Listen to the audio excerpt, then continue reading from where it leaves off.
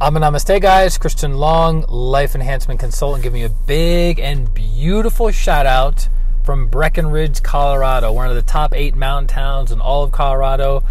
Just drove in this morning. Gonna be spending the day and a half here. No, one and a half day. One and a half day here. Looking forward to it. More time of relaxing, more time of bathing the energy body in beautiful weather Karen, namaste. Tina, namaste. I'll give you guys a quick view in a, a second. Adriana, namaste.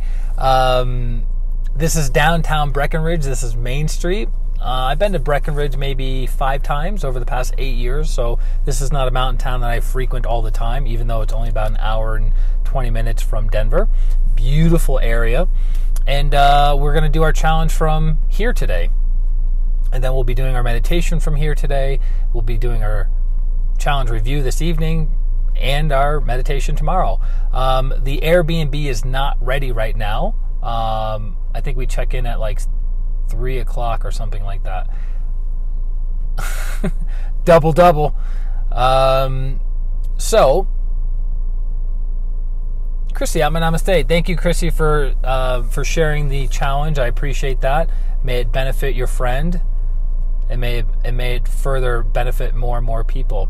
So I was thinking, racking my brain a little bit. I was like, what's a challenge that we haven't done before? What's an area that we haven't worked on before, or we need to work more on?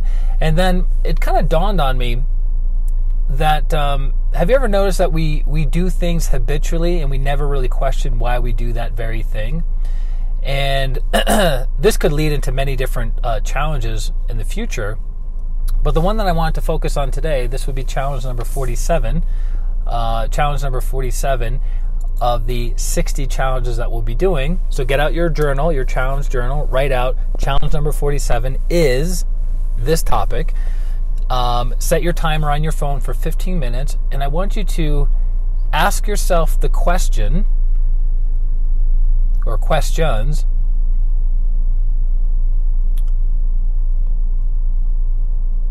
What would world peace look like? How come we have not arrived at world peace? And what can we do to move in the direction of world peace? And this particular topic is near and dear to my heart because it's actually what started me on my spiritual path 21 years ago. Lori Atman Namaste. And it had many twists and turns, but the core energy, the essence is has always been and always will continue to be there of world peace. And I'll go into the, the higher levels of truth and higher practices this evening when we do our challenge review. So, the three questions I want you to ask yourself is what would world peace look like? Why haven't we achieved it? And what do we need to do in order to achieve it? So, those three questions.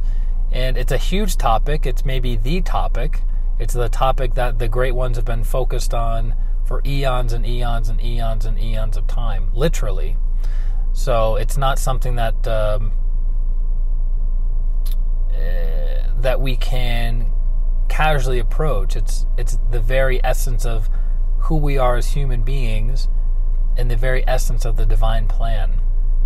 Sampath, Namaste. So those are your questions for today's challenge.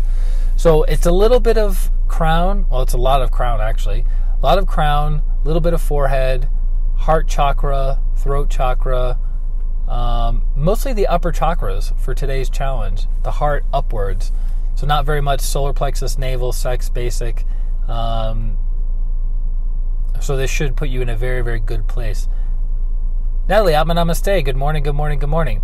So, that is our challenge for today. Do you have any questions about today's 47th challenge?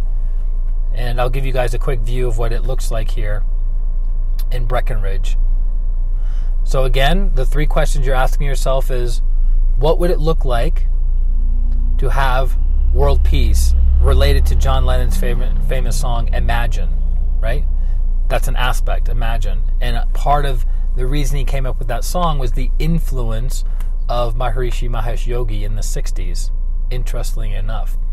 So the first question is, what would world peace look like? The second question is, why haven't we achieved world peace? And the third question is, what can we do to move in the direction of creating world peace? So those are your questions for today. Okay? So, you guys want to do a quick view, a quick tour, if you will?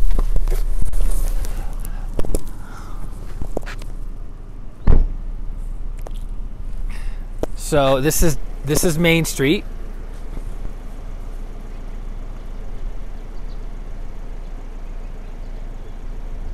The cute little mountain ski lodges.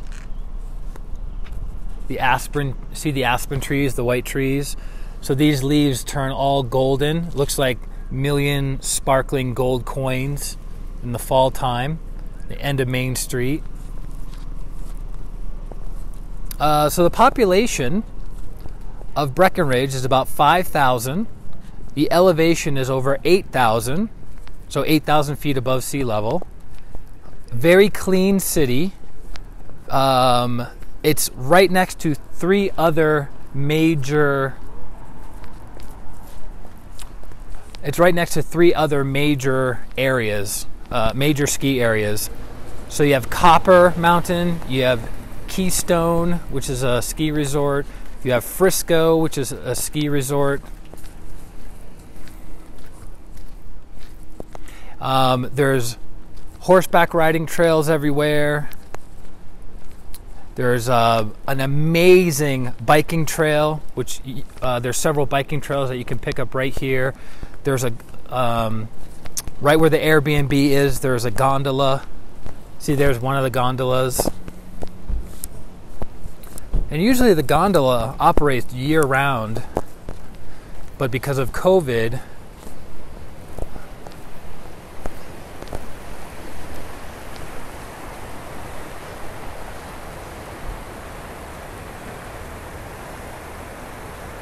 It's about 37 degrees out right now, but it doesn't feel like 37 degrees. Look, it's 37 degrees and there's people wearing tank tops and shorts because you're high up and the sun is very, very strong out here, very potent. Subway sandwich shop with a kid, a tiny kid in their pajamas, two tiny kids in pajamas.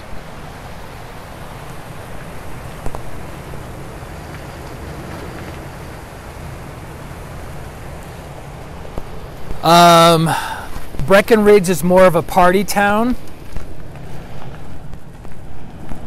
than other mountain towns.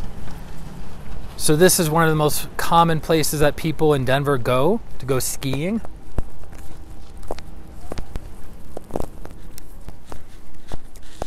But that's a little area. Josiah, and namaste.